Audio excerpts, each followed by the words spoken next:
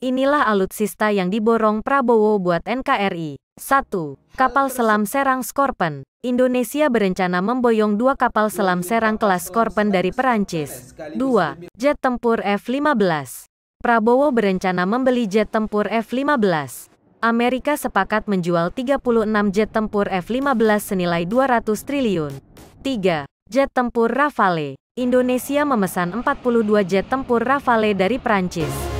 Jet tempur asal Prancis itu mampu terbang dengan kecepatan maksimal 2.205 km per jam dan mampu terbang hingga 15.000 meter. 4. Airbus A400M Indonesia juga membeli dua pesawat Airbus A400M. Pesawat ini multifungsi yang bisa meningkatkan kemampuan taktis Angkatan Udara. 5. Rudal Han Indonesia berencana membeli rudal Han yang bisa diluncurkan dari peluncur roket multilaras dengan berat 2.500 kg.